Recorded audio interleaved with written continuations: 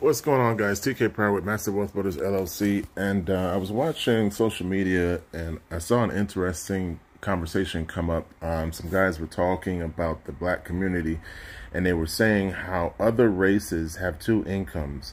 They have 100% of their income, and then they have 98% of black income because black people don't spend in their own community we get our dollar and our dollar doesn't circulate in our own ecosystem, it immediately goes to every other race.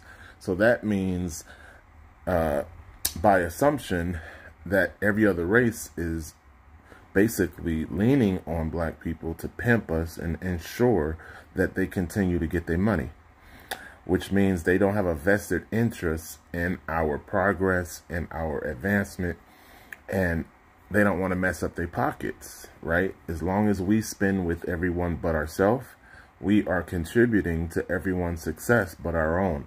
So if 98% of our money goes out, that leaves 2% for us to survive on.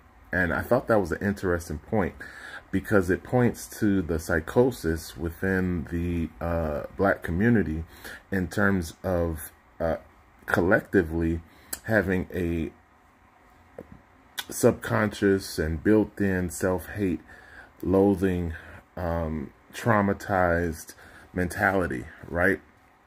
Uh, we'll spend $50,000 on concert tickets, but won't spend the same amount of money on something that advances us, you know, like an, an asset that accumulates in value over time.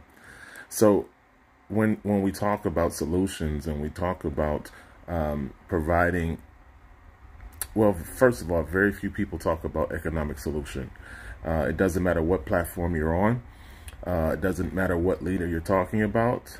It's like uh, that's a no-no, right? You don't talk about collective black money, and you don't talk about black empowerment.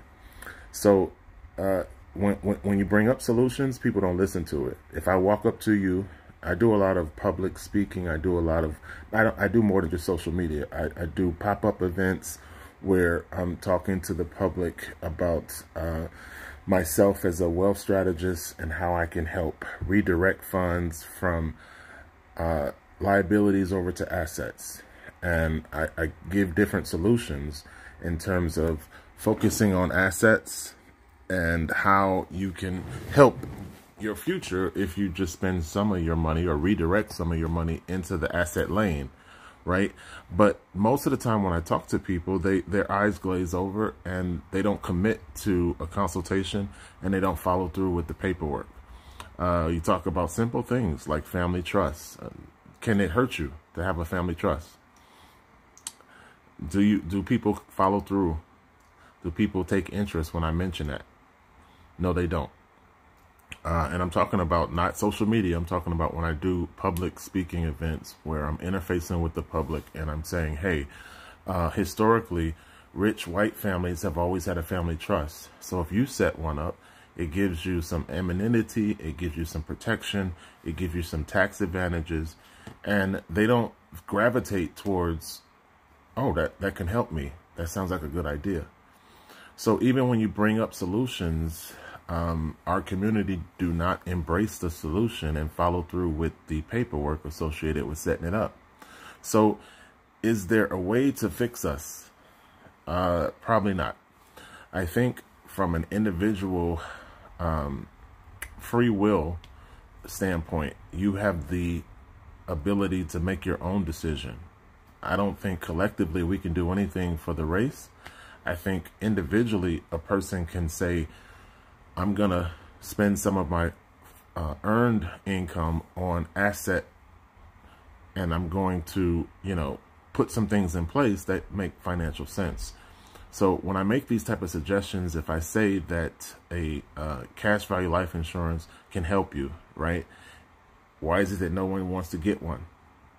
You listen to this video, when you're watching on social media, you're probably going to go back to watching TV and forget everything I just told you. Why is that? Is it proven from other races that this works? Yes. Have other Jewish, white people proven that IULs work? Yes. Why is it you're not interested in getting one? I don't know. Um, some people, I've heard the, the phrase uh, saying that an IUL is the rich person's 401k.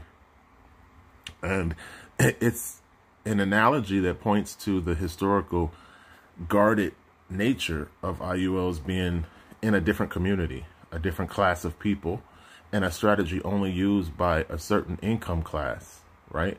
So if you bring that uh, investment strategy or that protection strategy down to the lower class, they reject it and say um, no. And it doesn't make sense. So, does life insurance help you? Can you argue that it doesn't help you? Uh, I, I had a person tell me that they paid for car insurance for 20 years and never used it because they never had an accident, they never had an issue with their car. And he was talking to me just questioning the, the validity. Well, first of all, it's illegal not to have it. If the cops pull you over and you don't have car insurance, there's a problem. But the truth is, if someone does hit your car, it's a higher financial burden if you don't have insurance, right? So the same concept applies to life insurance. You don't have to go fund me. Uh, FYI, black people, that's not the solution to insurance. GoFundMe is not insurance. You don't have to leave your family with debt. You don't have to leave your family with uh, questionable um, you know, financial security. You can actually take care of that by signing some papers and paying a monthly bill. So why is it that people are not interested? Why is it that people argue that it's not a good idea? What part of uh, religion or what part of hatred or what part of anything that prevents you from having life insurance? Same thing with any other type of insurance because there's so many different sectors within this lane. You know, final expense, mortgage protection, cancer insurance, um, cell phone. I mean, you name it. There's a whole sector of products that are associated with having protection just in case something happens. And there's nothing uh, consciously or sanely that you can argue that says that doesn't make sense. I'd rather pay for it myself. Why would I want to have a company help me pay for something when something else happens? That makes zero sense whatsoever. But we argue and we do not fill out the paperwork. We don't follow through with the consultation. And I don't understand why.